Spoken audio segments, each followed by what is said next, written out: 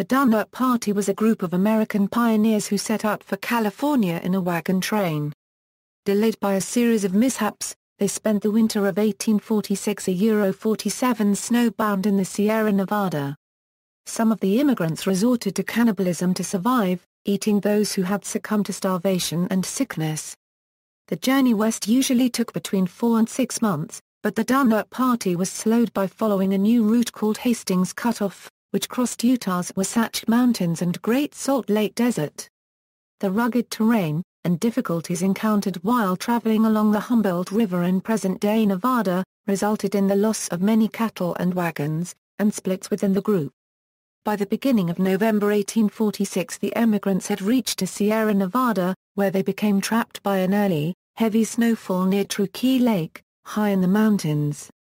Their food supplies ran low, and in mid-December some of the group set out on foot to obtain help.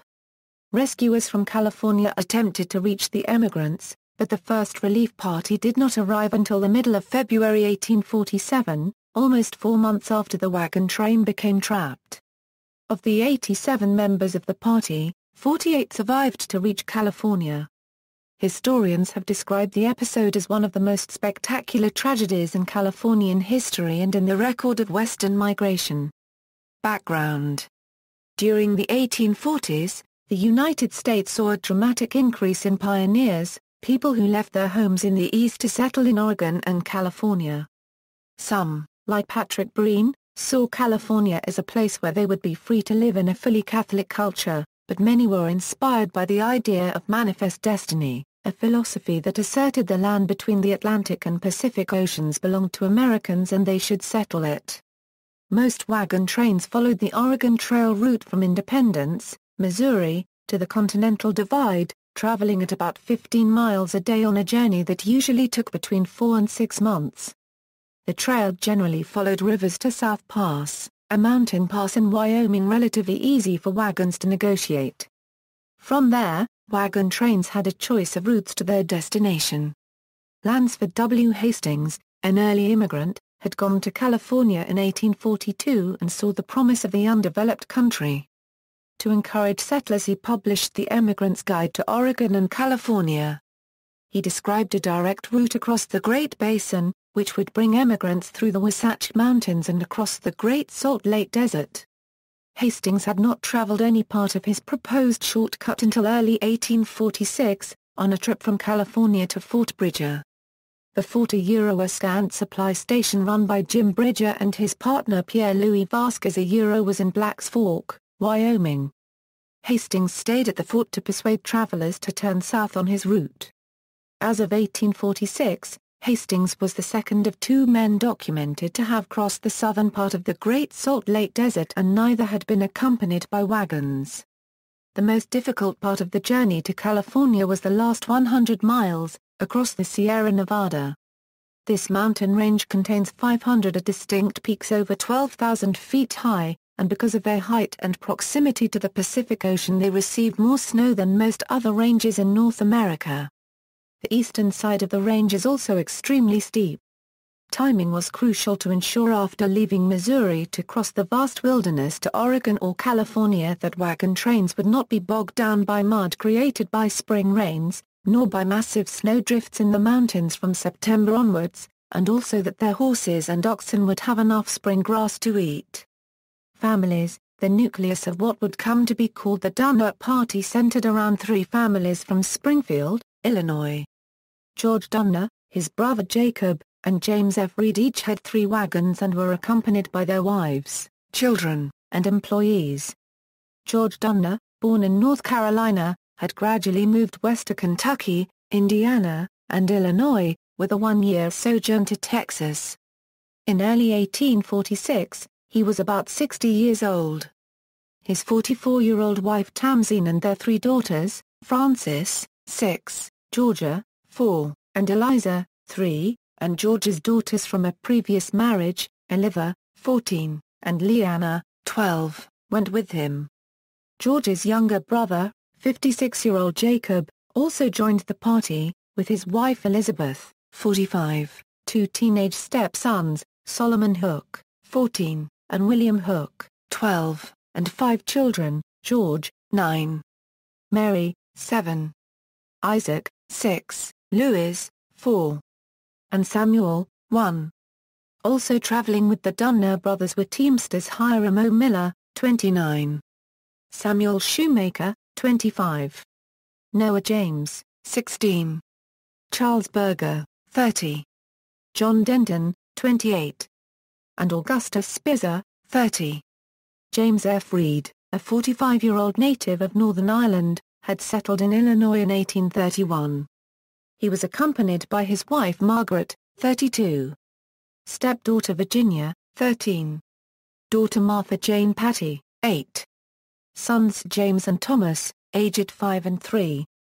And Sarah Keyes, Margaret Reed's 70-year-old mother, who was in the advanced stages of consumption.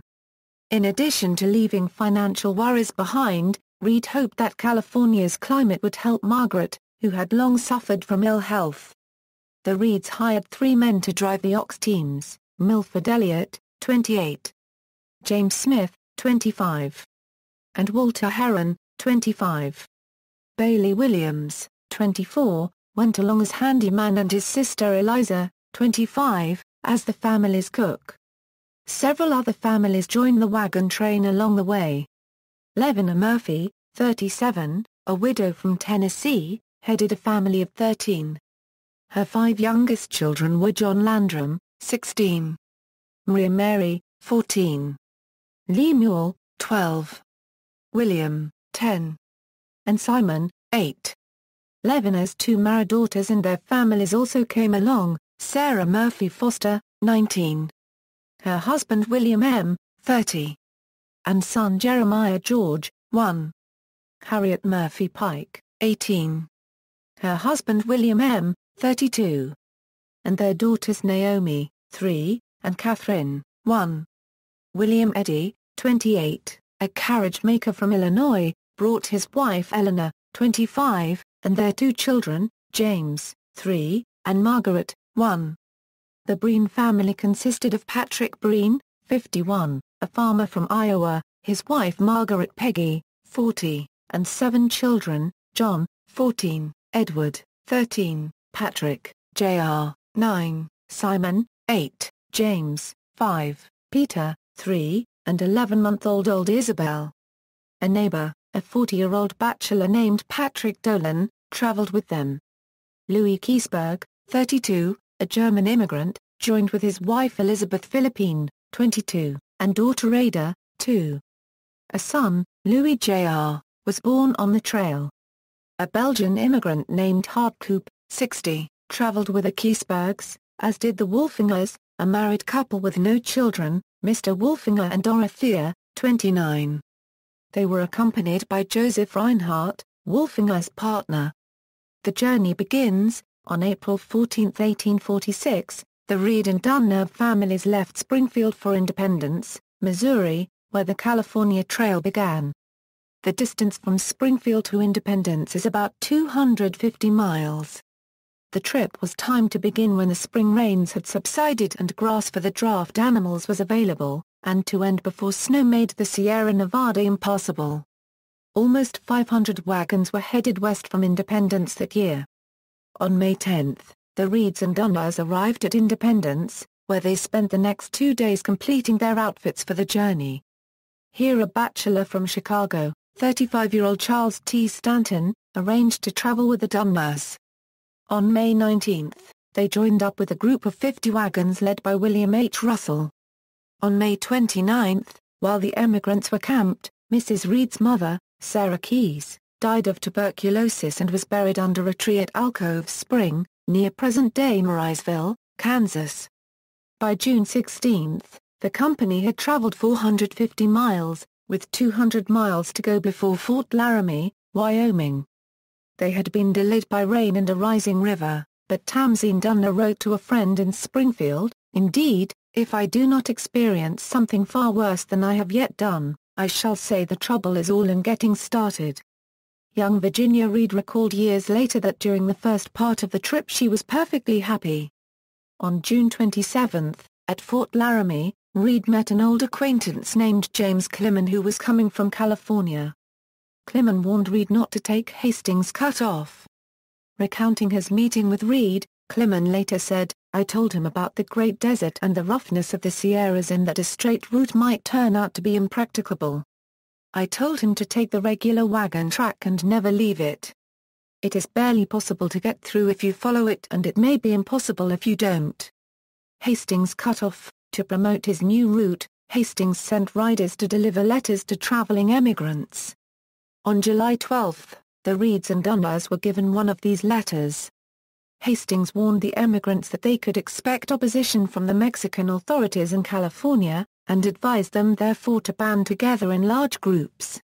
He also claimed to have worked out a new and better road to California, and said he would be waiting at Fort Bridger to guide the emigrants along the new cutoff. J. Quinn Thornton traveled part of the way with Donner and Reed, and in his book From Oregon and California in 1848 declared Hastings the Baron Munchausen of travelers in these countries. Tamsen Donner was, according to Thornton, gloomy, sad, and dispirited at the thought of turning off the main trail on the advice of Hastings, whom she considered a selfish adventurer. Birth of the Donner Party On July 20, at the Little Sandy River, most of the wagon train opted to follow the established trail via Fort Hall. A smaller group, which opted to head for Fort Bridger, now needed a leader.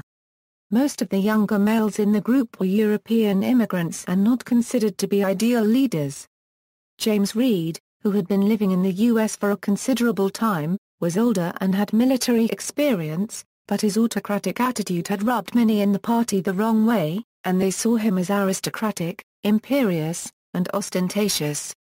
By comparison, the mature, experienced, American-born Donner's peaceful and charitable nature made him the group's first choice. The members of the party were comfortably well off by contemporary standards. Although they are called pioneers, all but a few lacked specific skills and experience for traveling through mountains and arid land, and had little knowledge about how to deal with Native Americans. Edwin Bryant, a journalist, reached Black's Fork a week ahead of the Donner party. He saw the first part of the trail, and was concerned that it would be difficult for the wagons in the Donner group, especially with so many women and children. He returned to Black's Fork to leave letters warning several members of the group not to take the shortcut. By the time the Donner party reached Black's Fork on July 27 Hastings had already left, leading the 40 wagons of the Harlan Young group. Jim Bridger, whose trading post would fare substantially better if people used the Hastings cutoff, told the party that the shortcut was a smooth trip, devoid of rugged country and hostile Native Americans, and would therefore shorten their journey by 350 miles. Water would be easy to find along the way, although a couple of days crossing a 30 euro 40 mile dry lake bed would be necessary. Reed was very impressed with this information, and advocated for the Hastings cut-off. None of the party received Bryant's letters warning them to avoid Hastings' route at all costs. In his diary account, Bryant states his conviction that Bridger deliberately concealed the letters, a view shared by Reed in his later testimony. On July 31, 1846, the party left Black's Fork after four days of rest and wagon repairs, 11 days behind the leading Harlan Young group. Donner hired a replacement driver, and the company was joined by the McCutcheon family, consisting of 30-year-old William, his 24-year-old wife Amanda, and two-year-old daughter Harriet, and a 16-year-old named Jean-Baptiste Trudeau from New Mexico, who claimed to have knowledge of the Native Americans and terrain on the way to California. Wasatch Mountains The party turned south to follow Hastings cut off. Within days they found the terrain to be much more difficult than described, and the drivers were forced to lock the wheels of their wagons to prevent them from sliding down steep inclines. Several years of migrant traffic on the main Oregon Trail had left an easy and obvious path, whereas the cutoff was more difficult to find. Hastings wrote directions and left letters stuck to trees. On August 6, the party found a letter from Hastings, advising them to stop until he could show them an alternative route to that taken by the Harlan Young Party. Reed, Charles Stanton, and William Pike rode ahead to get Hastings. They encountered exceedingly difficult canyons where boulders had to be moved and walls cut off precariously to a river below, a route likely to break wagons. although Hastings had offered in his letter to guide the Donner party around the more difficult areas, he rode back only partway, indicating the general direction to follow. Stanton and Pike stopped to rest, and Reed returned alone to the group, arriving four days after the party's departure. Without the guide they had been promised, the group had to decide whether to turn back and rejoin the traditional trail, follow the tracks left by the Harlan Young Party through the difficult terrain of Weber Canyon, or forge their own trail in the direction Hastings had recommended. At Reed's urging, the group chose the new Hastings route. Their progress slowed to about a mile and a half a day, and all the able-bodied men were required to clear brush, fell trees, and heave rocks to make room for the wagons. As the Donner party made its way across the Wasatch Mountains, they were caught up by the Graves family, who had set off to find them. The Graves family consisted of 57-year-old Franklin Graves, his 47-year-old wife Elizabeth, their nine children, Mary, 20, William, 18, Eleanor, 15, Lovina, 13, Nancy 9, Jonathan, 7, Franklin, Jr., 5, Elizabeth, 1, and married daughter Sarah, 22, plus a son-in-law J. Fosdick, 23, and a 25-year-old teamster named John Snyder, traveling together in three wagons. Their arrival brought the Donner party to 87 members in 60 Euro 80 wagons.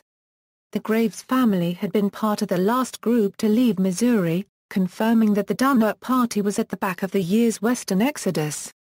By the time they had reached a point in the mountains where they could look down and see the Great Salt Lake, it was August 20.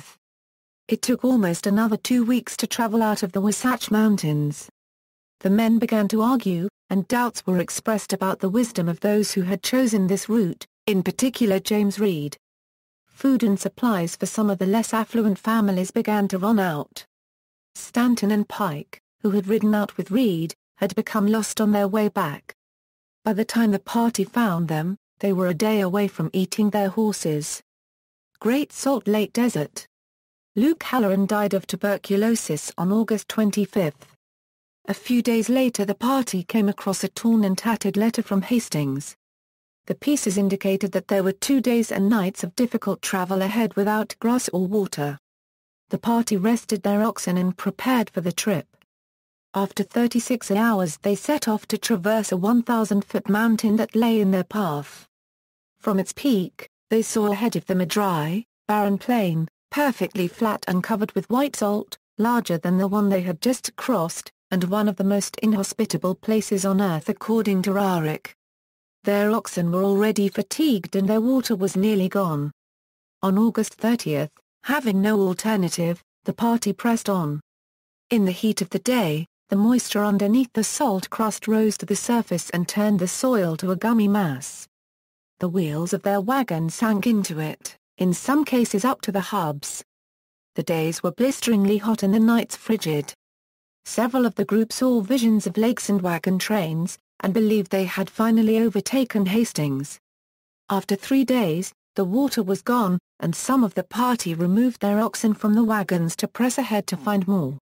Some of the animals were so weakened they were left yoked to the wagons and abandoned. Nine of Reed's ten oxen, crazed with thirst, broke free and bolted off into the desert. Many other families' cattle and horses had also gone missing. The rigors of the journey resulted in irreparable damage to some of the wagons, but no human lives had been lost. Instead of the promised two days' journey over 40 miles, the journey across the 80 miles of Great Salt Lake Desert had taken six. None of the party had any remaining faith in the Hastings cutoff as they recovered at the springs on the other side of the desert. They spent several days trying to recover cattle, retrieve the wagons left in the desert, and transfer their food and supplies to other wagons.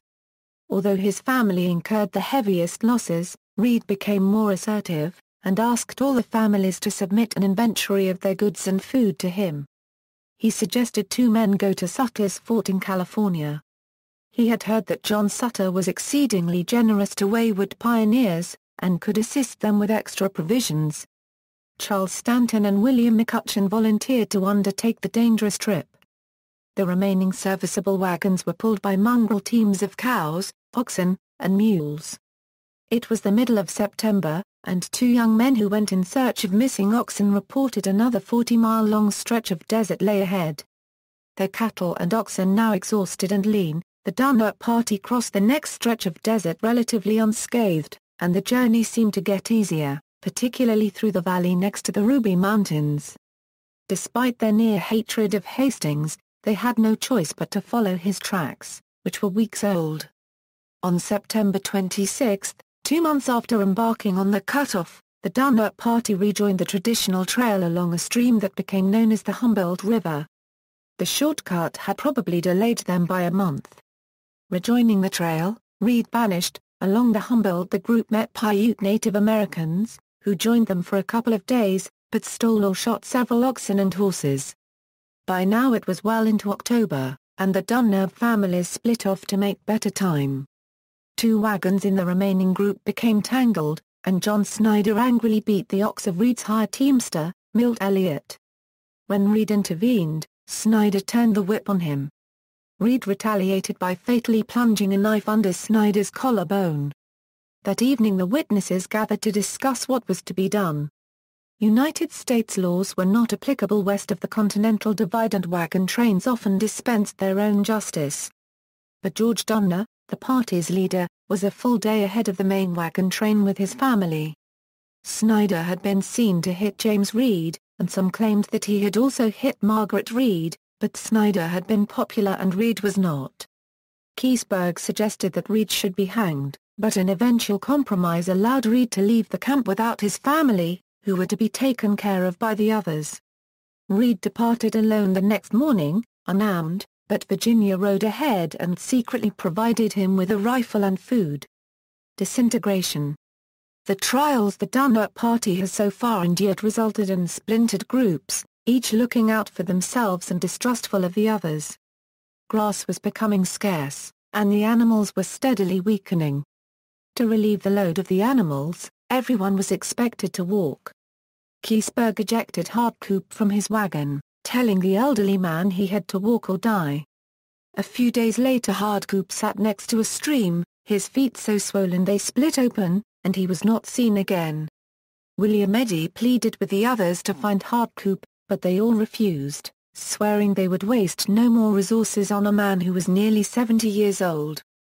Meanwhile Reed caught up with the Donners and went on with one of his teamsters, Walter Heron. Although the two shared a horse, they were able to cover 25 a euro 40 miles per day. The rest of the party rejoined the Donners, but their bad luck continued. Native Americans chased away all of Graves' horses and another wagon was left behind. With grass in short supply, the cattle spread out more, which allowed the Paiutes to steal 18 more during one evening, and several mornings later, shoot another 21. So far the company had lost nearly 100 oxen and cattle, and their rations were almost completely depleted. One more stretch of desert lay ahead. The Eds oxen had been killed by Native Americans and they were forced to abandon their wagon. The family had eaten all their stores, but the other families refused to assist their children. The Eddys were forced to walk, carrying their children and miserable with thirst. Margaret Reed and her children were also now without a wagon. The desert soon came to an end, however, and the party found the Truckee River and beautiful lush country. They had little time to rest, and the company pressed on to cross the mountains before the snows came. Stanton, one of the two-man party who had left a month earlier to seek assistance in California, found the company and brought mules, food, and two Miwok Native Americans named Lewis in Salvador. He also brought news that Reed and Heron, although haggard and starving, had succeeded in reaching Sutter's Fort, in California. By this point, according to Rarick, to the bedraggled, half-starved members of the Donner Party, it must have seemed that the worst of their problems had passed. They had already endured more than many emigrants ever did. Snowbound, Donner Pass. Faced with one last push over mountains that were described as much worse than the Wasatch, the ragtag company had to decide whether to forge ahead or rest their cattle. It was October 20 and they had been told that the pass would not be snowed in until the middle of November. William Pike was killed when a gun being loaded by William Foster discharged negligently, an event that seemed to make the decision for them. family by family, they resumed their journey, first the Breens, then Kesebergs, Stanton with the Reeds, Graveses, and Murphys. The Donners waited and traveled last. After a few miles of rough terrain, an axle broke on one of the Donners' wagons. Jacob and George went into the woods to fashion a replacement. George Donner sliced his hand open while chiseling the wood, but it seemed a superficial wound. Snow began to fall. The Breens made it up the massive, nearly vertical slope 1,000 feet to Truckee Lake, three miles from the summit, and camped near a cabin that had been built two years earlier by another group of pioneers.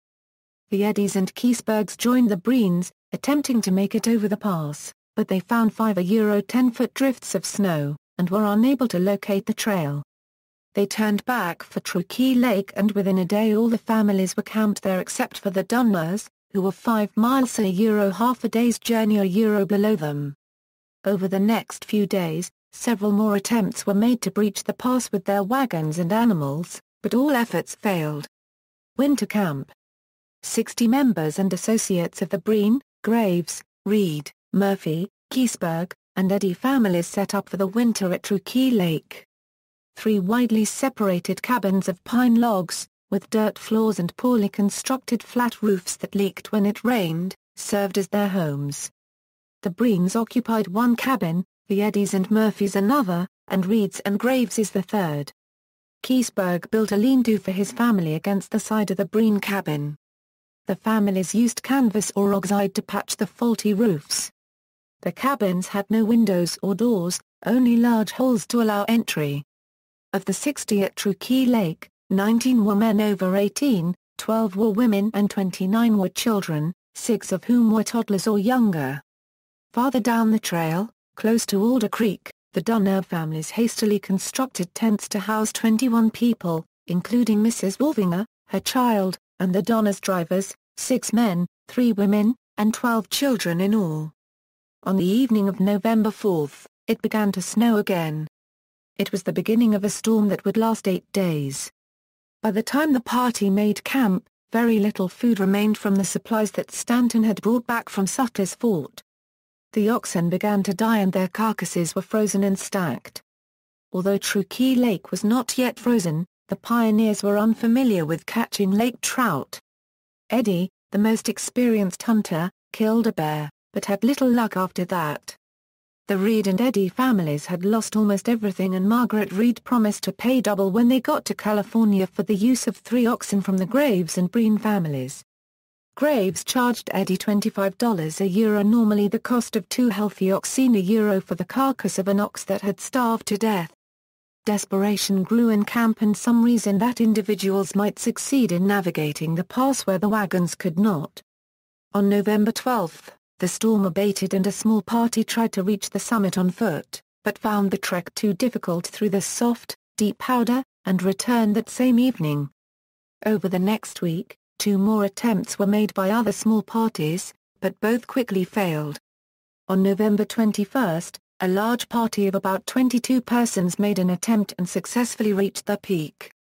The party traveled about 1.5 miles west of the summit, but this trip too was aborted, and returned to the lake on November 23. Patrick Breen began keeping a diary on November 20. He primarily concerned himself with the weather, marking the storms and how much snow had fallen, but gradually began to include references to God and religion in his entries. Life at Truckee Lake was miserable. The cabins were cramped and filthy, and it snowed so much that people were unable to go outdoors for days. Diets soon consisted of oxhide, strips of which were boiled to make a disagreeable glue-like jelly. Ox and horse bones were boiled repeatedly to make soup, and became so brittle they would crumble upon chewing. Sometimes they were softened by being charred and eaten. Bit by bit, the Murphy children picked apart the oxhide rug that lay in front of their fireplace, roasted it in the fire and ate it. After the departure of the snowshoe party, two-thirds of the emigrants at Truckee Lake were children. Mrs. Graves was in charge of eight, and Levina Murphy and Eleanor Eddy together took care of nine. Emigrants caught and ate mice that strayed into their cabins. Many of the people at Truckee Lake were soon weakened and spent most of their time in bed. Occasionally one would be able to make the full-day trek to see the Donners. News came that Jacob Donner and three hired men had died. One of them, Joseph Reinhardt, confessed on his deathbed that he had murdered Wolfinger. George Donner's hand had become infected, which left four men to work at the Donner camp. Margaret Reed had managed to save enough food for a Christmas pot of soup, to the delight of her children, but by January they were facing starvation and considered eating the oxhides that served as their roof. Margaret Reed, Virginia, Milt Elliott and the servant girl Eliza Williams attempted to walk out, reasoning that it would be better to try to bring food back than sit and watch the children starve. They were gone for four days in the snow before they had to turn back. Their cabin was now uninhabitable. The oxhide roof served as their food supply, and the family moved in with the Breens. The servants went to live with other families. One day the Graveses came by to collect on the debt owed by the Reeds and took the oxhides which were all the family had to eat. The forlorn hope, the mountain party at Truckee Lake began to fall. Spitzer, then Bailey Williams died, more from malnutrition than starvation. Franklin Graves fashioned 14 pairs of snowshoes out of oxbows and hide. A party of 17 men, women, and children set out on foot in an attempt to cross the mountain pass. As evidence of how grim their choices were, four of the men were fathers, and three of the women mothers who gave their young children to other women. They packed lightly, taking what had become six days' rations, a rifle, a blanket each, a hatchet, and some pistols, hoping to make their way to Bear Valley. Historian Charles McGlashan later called this snowshoe can party the forlorn hope. Two of those without snowshoes, Charles Burger and 10-year-old William Murphy, turned back early on. Other members of the party fashioned a pair of snowshoes for Lemuel on the first evening from one of the pack saddles they were carrying. The snowshoes proved to be awkward but effective on the arduous climb. The members of the party were neither well-nourished nor accustomed to camping in snow 12 feet deep, and by the third day most were snow-blind. On the sixth day Eddy discovered that his wife had hidden a half-pound of bear meat in his pack. When the group set out that morning, December 21, Stanton, who had been straggling for several days, remained behind, saying that he would follow shortly. His remains were found in that location the following year the group became lost and confused. After two more days without food, Patrick Dolan proposed that one of them should volunteer to die, to feed the others. Some suggested a duel, while another account describes an attempt to create a lottery to choose a member to sacrifice. Eddy suggested they keep moving until someone simply fell, but a blizzard forced the group to halt. Antonio, the animal handler, was the first to die. Franklin Graves was the next casualty. As the blizzard progressed, Patrick Dolan began to rant deliriously, stripped off his clothes and ran into the woods. He returned shortly afterwards and died a few hours later. Not long after, possibly because 12-year-old Lemuel Murphy was near death, some of the group began to eat flesh from Dolan's body. Lemuel's sister tried to feed some to her brother, but he died shortly afterwards. Eddy, Salvador and Lewis refused to eat. The next morning the group stripped the muscle and organs from the bodies of Antonio, Dolan, Graves, and Murphy and dried it to store for the days ahead, taking care to ensure that nobody would have to eat his or her relatives. After three days' rest they set off again, searching for the trail. Eddy eventually succumbed to his hunger and ate human flesh, but that was soon gone they began to take apart their snowshoes to eat the oxhide webbing, and discussed killing Lewis in Salvador for food. After Eddy warned the Native Americans they quietly left. During the night Jay Fosdick died, leaving only seven members of the party. Eddy and Mary Graves left to hunt, but when they returned with deer meat, Fosdick's body had already been cut apart for food. After several more days a Euro 25 since they had left Truckee Lake a Euro they came across Salvador and Lewis, who had not eaten for about nine days and were close to death. William Foster, believing the flesh of the Native Americans was the group's last hope of avoiding imminent death from starvation, shot the pair. On January 12, the group stumbled into a Miwok camp looking so deteriorated that the Native Americans initially fled. The Miwoks gave them what they had to eat acorns, grass, and pine nuts. After a few days, Eddy continued on with the help of a Miwok to a ranch in a small farming community at the edge of the Sacramento Valley. A hurriedly assembled rescue party found the other six survivors on January 17. Their journey from Truckee Lake had taken 33 days. Rescue Reed attempts a rescue, James Reed made it out of the Sierra Nevada to Rancho Johnson in late October. He was safe and recovering at Sutter's Fort, but each day he became more concerned for the fate of his family and friends. He pleaded with Colonel John C. Farrar Copyright Mont to gather a team of men to cross the pass and help the company, in return for which Reed promised he would join Farrar Copyright Mont's forces and fight in the Mexican-American War. Reed was joined by McCutcheon, who had been unable to return with Stanton, as well as some members of the Harlan Young Party. The Harlan Young wagon train had arrived at Sutter's Fort on October 8, the last to make it over the Sierra Nevada that season.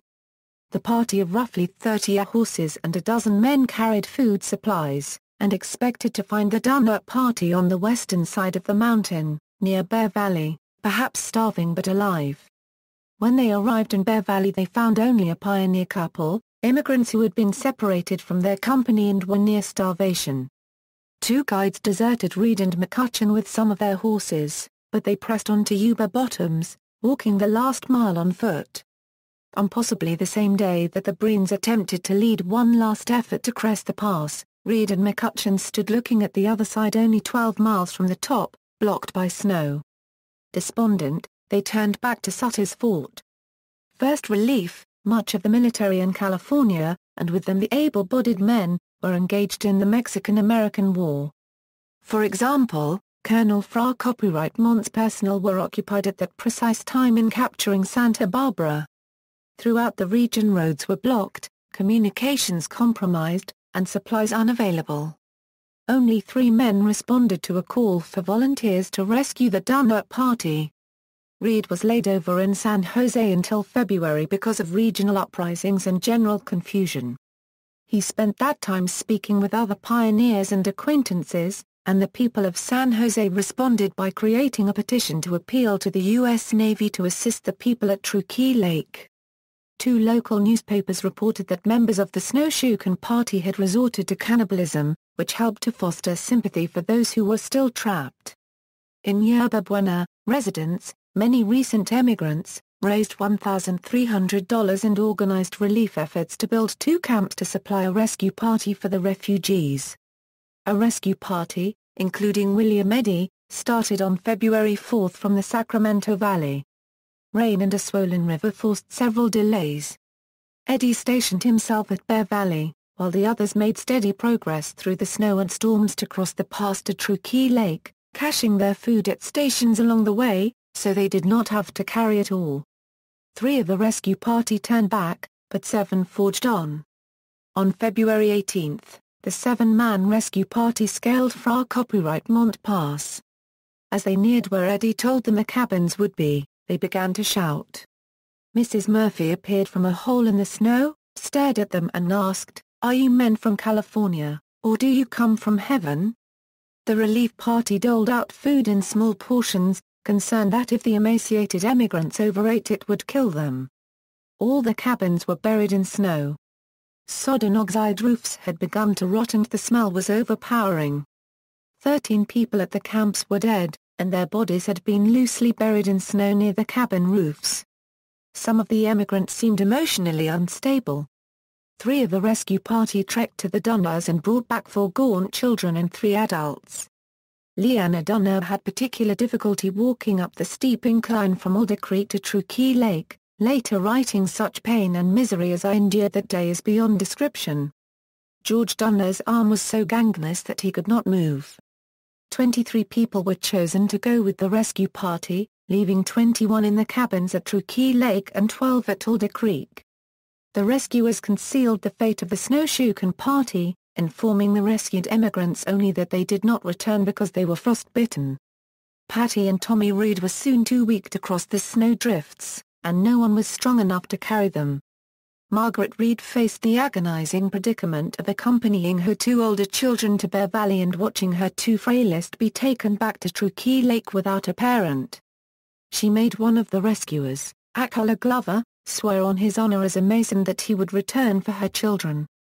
Patty Reed told her, Well, mother, if you never see me again, do the best you can. Upon their return to the lake, the Breens flatly refused them entry to their cabin, but after Glover left more food the children were grudgingly admitted. The rescue party was dismayed to find that the first cache station had been broken into by animals, leaving them without food for four days. After struggling on the walk over the pass, John Denton slipped into a coma and died. Ada Keseberg died soon afterwards. Her mother was inconsolable, refusing to let the child's body go. After several days more travel through difficult country, the rescuers grew very concerned that the children would not survive.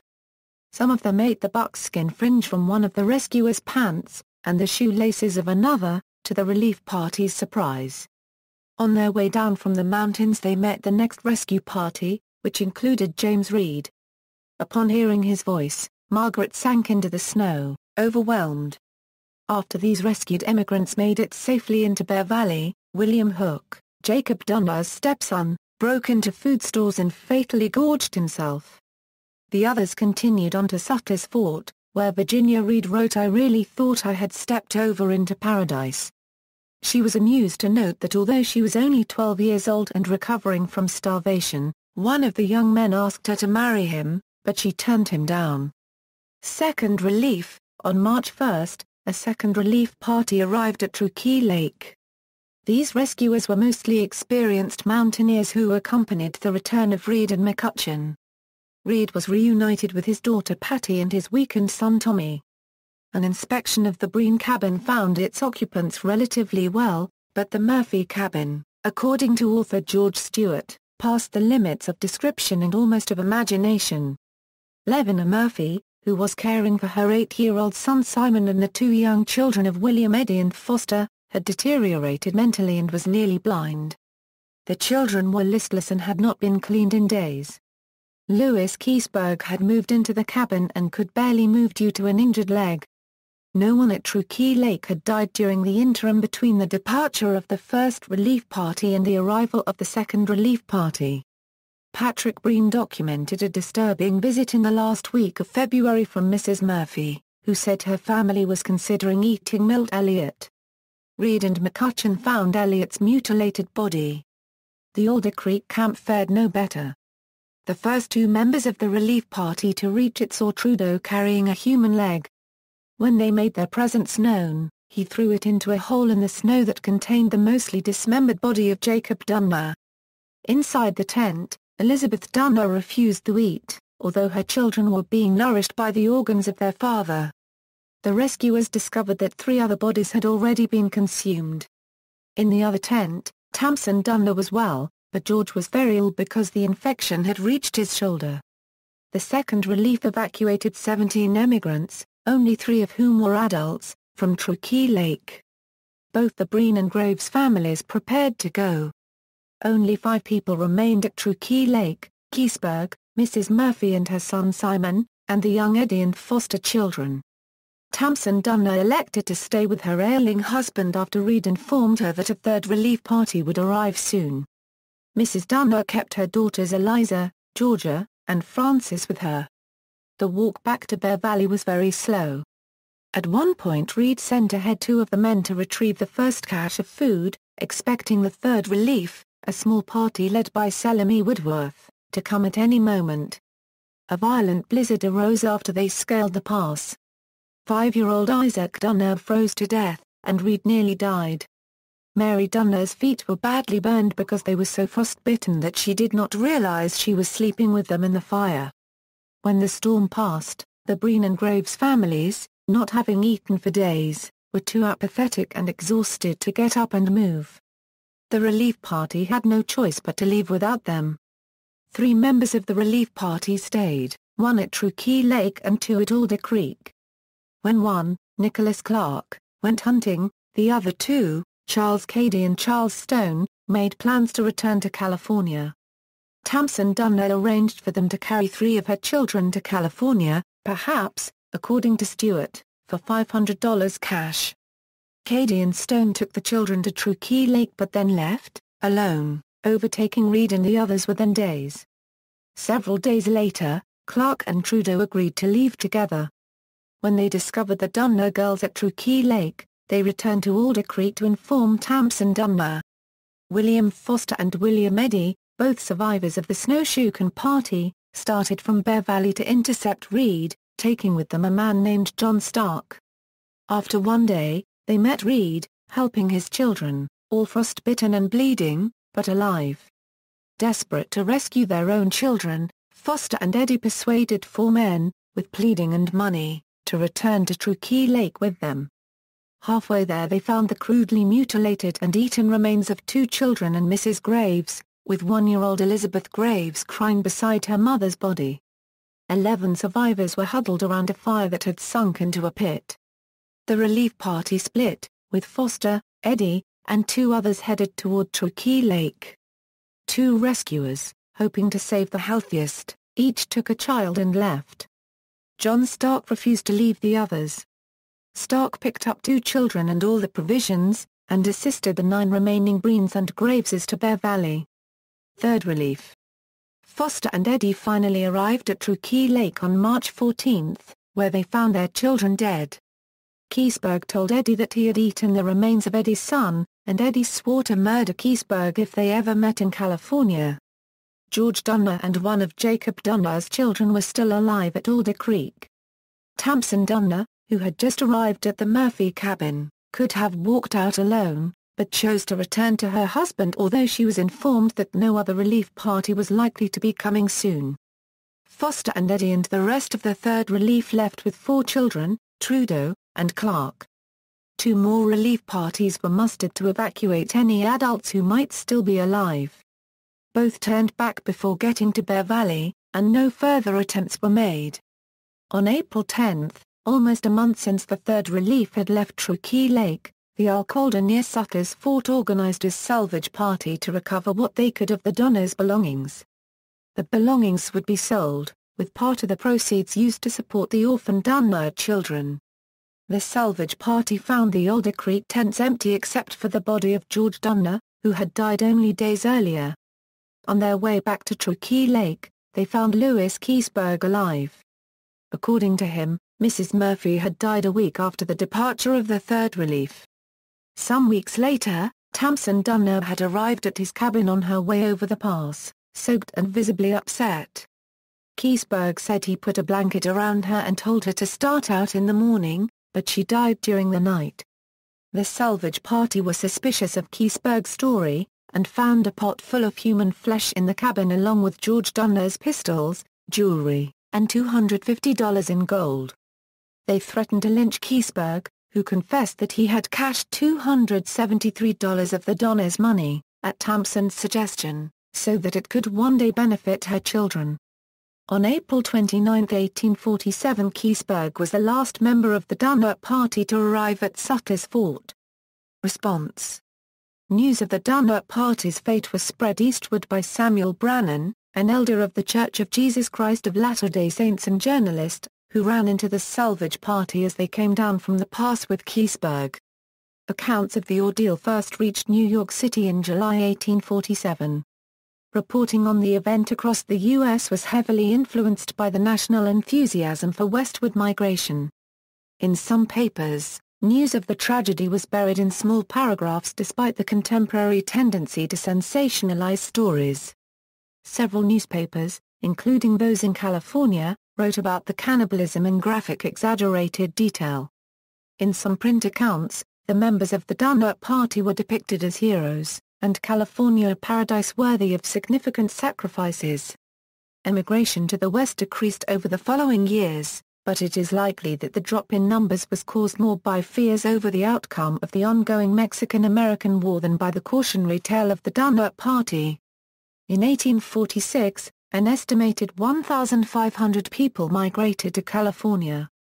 In 1847 the number dropped to 450 and to 400 in 1848. The California gold rush spurred a sharp increase however, and in 1849, 25,000 people went west. Most of the overland migration followed the Carson River, but a few 49ers used the same route as the Donner Party and recorded descriptions about the site. The areas inhabited by the party were so notorious that they became known as Donner Pass, Donner Lake, and Donner Peak. In late June 1847, members of the Mormon Battalion under General Stephen Kearny buried the human remains, and partially burned two of the cabins. The few who ventured over the pass in the next few years found bones, other artifacts, and the cabin used by the Reed and Graves families.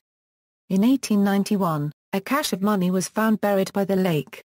It had probably been stored by Mrs. Graves, who hastily hid it when she left with the second relief so that she could return for it later. Lansford Hastings received death threats. An emigrant who crossed before the Donner Party confronted Hastings about the difficulties they had encountered, reporting of course he could say nothing but that he was very sorry, and that he meant well. Survivors, of the 87 people who entered the Wasatch Mountains, 48 survived. Only the Reed and Breen families remained intact. The children of Jacob Donner, George Donner, and Franklin Graves were orphaned. William Eddy was alone and most of the Murphy family had died. Only three mules reached California. The remaining animals perished. Most of the Donner Party members' possessions were discarded. A few of the widowed women remarried within months. Brides were scarce in California. The Reeds settled in San Jose and two of the Donner children lived with them.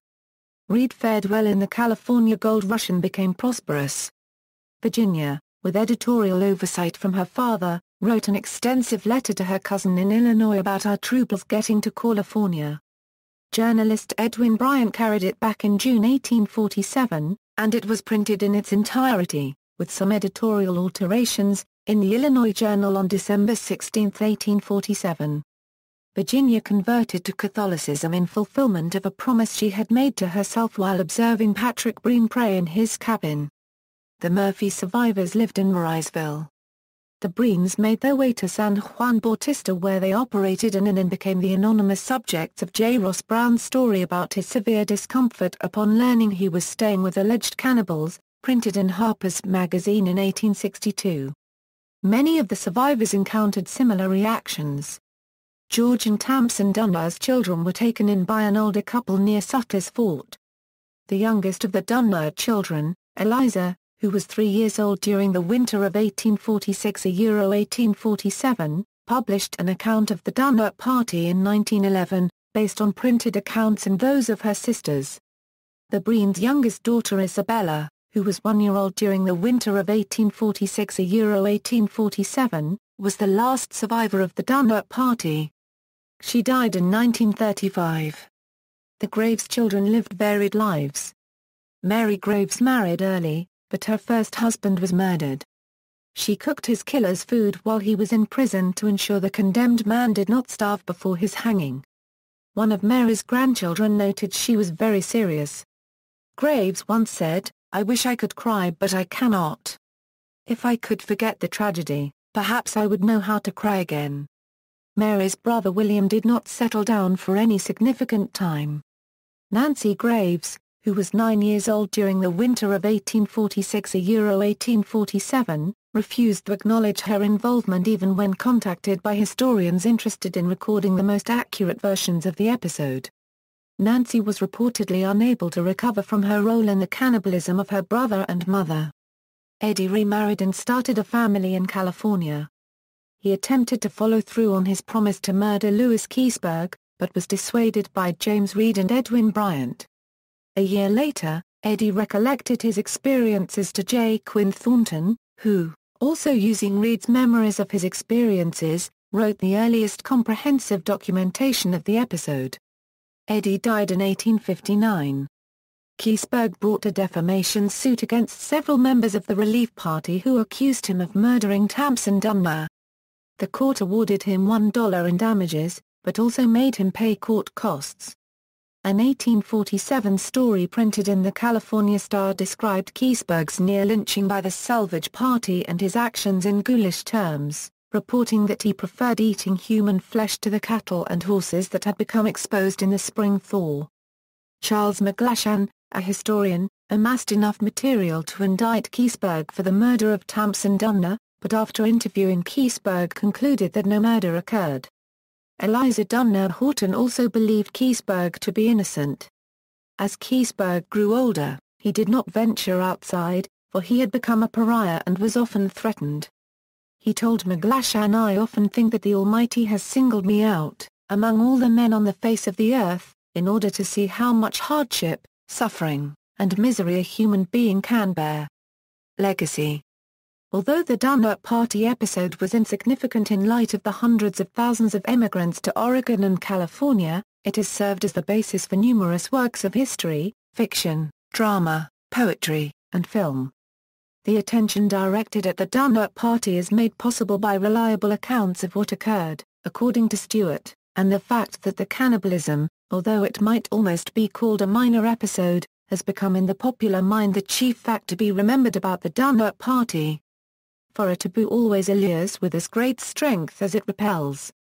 The appeal according to Johnson, writing in 1996, is that the events focused on families and ordinary people instead of rare individuals, and that the events are a dreadful irony that hopes of prosperity, health, and a new life in California's fertile valleys led many only to misery, hunger, and death on her stony threshold.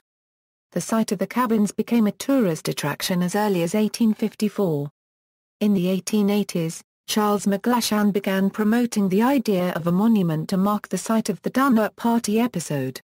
He helped to acquire the land for a monument, and in June 1918, the statue of a pioneer family was placed on the spot where the Breen Keseberg cabin was thought to have been, dedicated to the Donner Party. It was made a California Historical Landmark in 1934 the state of California created the Donner Memorial State Park in 1927. It originally consisted of 11 acres surrounding the monument. Twenty years later, the site of the Murphy Cabin was purchased and added to the park. In 1962, the Emigrant Trail Museum was added to tell the history of westward migration into California. The Murphy Cabin and Donner Monument were established as a National Historic Landmark in 1963. A large rock served as the back end of the fireplace of the Murphy cabin, and a bronze plaque has been affixed to the rock listing the members of the Donner Party, indicating who survived and who did not. The state of California justifies memorializing the site because the episode was an isolated and tragic incident of American history that has been transformed into a major folk epic. As of 2003, the park is estimated to receive 200,000 visitors a year. Mortality, Although most historians count 87 members of the party, Stephen McCurdy in the Western Journal of Medicine includes Sarah Chiesa Euro Margaret Reed Smoot era Euro, and Luis in Salvador, bringing the number to 90. Five people had already died before the party reached Truckee Lake, one from tuberculosis, three from trauma, and one from exposure. A further 34 died between December 1846 and April 1847, 25 males and 9 females. Several historians and other authorities have studied the mortalities to determine what factors may affect survival in nutritionally deprived individuals. Of the 15 members of the Snowshoekan Party, eight of the ten men who set out died, but all five of the women survived. A professor at the University of Washington stated that the Donner Party episode is a case study of demographically mediated natural selection in action. The deaths at Truckee Lake, Alder Creek, and in the Snowshoekan Party, were probably caused by a combination of extended malnutrition, overwork, and exposure to cold. Several members, such as George Donner, became more susceptible to infection due to starvation, but the three most significant factors in survival were age, sex, and the size of family group each member traveled with. The survivors were on average 7.5 years younger than those who died. Children aged between 6 and 14 had a much higher survival rate than infants and children under the age of 6, of whom 62.5% died, including the some born to the Kesebergs on the trail, or adults over the age of 35. No adults over the age of 49 survived. Deaths among males aged between 20 and 39 were extremely high at more than 66%. Men have been found to metabolize protein faster, and women do not require as high a caloric intake. Women also store more body fat, which delays the effects of physical degradation caused by starvation and overwork. Men also tend to take on more dangerous tasks, and in this particular instance, the men were required before reaching Truckee Lake to clear brush and engage in heavy labor, adding to their physical debilitation. Those traveling with family members had a higher survival rate than bachelor males, possibly because family members more readily shared food with each other. Claims of cannibalism Although some survivors disputed the accounts of cannibalism, Charles McGlashan, who corresponded with many of the survivors over a 40-year period, documented many recollections that it occurred. Some correspondents were not forthcoming, approaching their participation with shame, but others eventually spoke about it freely.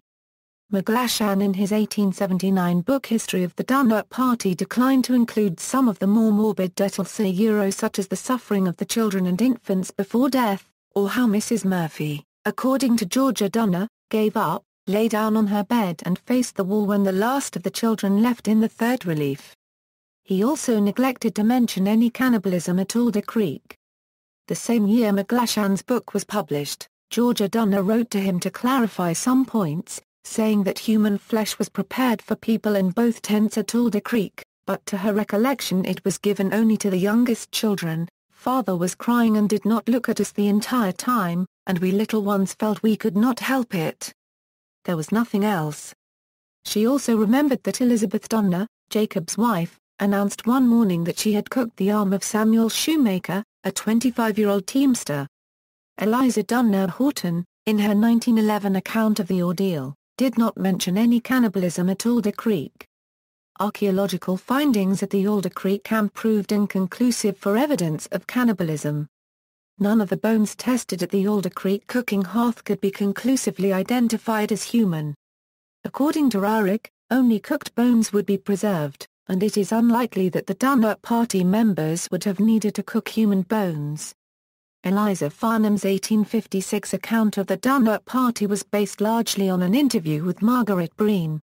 Her version details the ordeals of the Graves and Breen families after James Reed and the Second Relief left them in the snow pit. According to Farnham, seven-year-old Mary Donner suggested to the others that they should eat Isaac Donner, Franklin Graves, Jr., and Elizabeth Graves, because the Donners had already begun eating the others at Alder Creek, including Mary's father Jacob.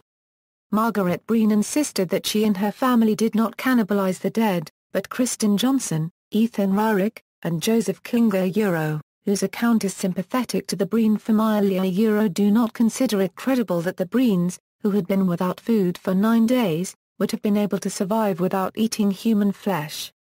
King suggests Farnham included this into her account independently of Margaret Breen. According to an account published by H. A. Wise in 1847, Jean-Baptiste Trudeau boasted of his own heroism, but also spoke in lurid detail of eating Jacob Donner, and claimed he had eaten a baby raw. Many years later, Trudeau met Eliza Donner Houghton and denied cannibalizing anyone, which he reiterated in an interview with a St. Louis newspaper in 1891, when he was 60 years old. Houghton and the other Donner children were fond of Trudeau, and he of them, in spite of their circumstances and the fact that he eventually left Tamsen Donner alone. Author George Stewart considers Trudeau's accounting to Wise more accurate than what he told Houghton in 1884, and asserted that he deserted the Donners. Kristin Johnson, however, attributes Trudeau's interview with Wise to be a result of common adolescent desires to be the center of attention and to shock one's elders. Older, he reconsidered his story, so as not to upset Houghton. Historians Joseph King and Jack Steed call Stewart's characterization of Trudeau's actions as desertion extravagant moralism, particularly because all members of the party were forced to make difficult choices. Ethan Rarick echoed this by writing, and more than the gleaming heroism or sullied villainy, the Donner Party is a story of hard decisions that were neither heroic nor villainous. See also, Alfred Packer, Donner Party Timeline, 1972 Andes Flight Disaster, Notes. Citations.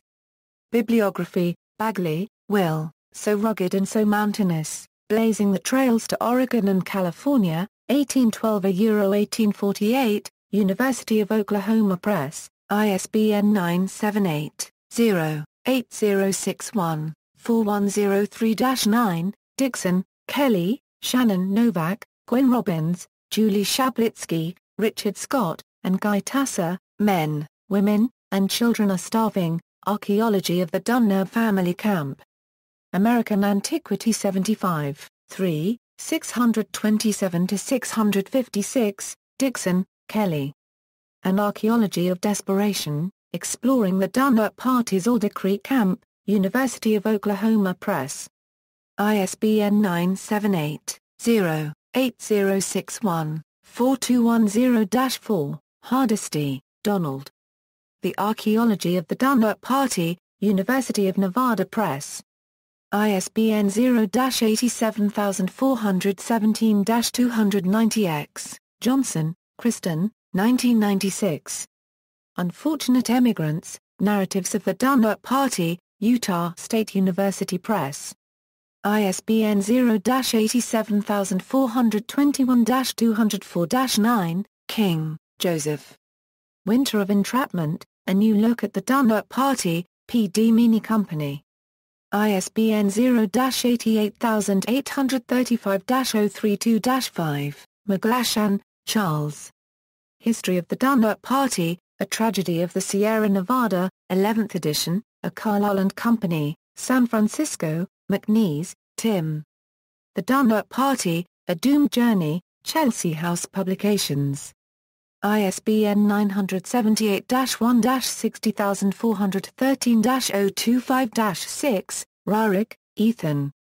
Desperate Passage, The Donner Party's Perilous Journey West, Oxford University Press, ISBN 0-19-530502-7, Rehart, Catherine Morrison, The Valley's Legends and Legacies 3, Word Dancer Press. ISBN 978-1-889495-18-7, Robbins-Shook, Gwen and Kelsey Gray, Bone Histology and Identification of a Starvation Diet.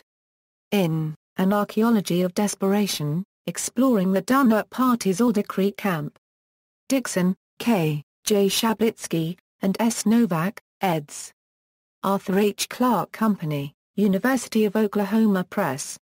ISBN 978-0-8061-4210-4, State of California Park and Recreation Commission, Donner Memorial State Park General Plan and Environmental Report, Volume I retrieved March 24, 2010.